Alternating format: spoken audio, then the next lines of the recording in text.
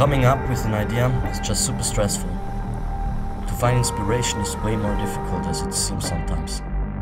First of all, an idea comes up with the intention to create.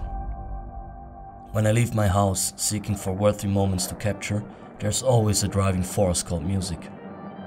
Putting the right song into my work can help me break through and let me dive into the creative process. That's the creation.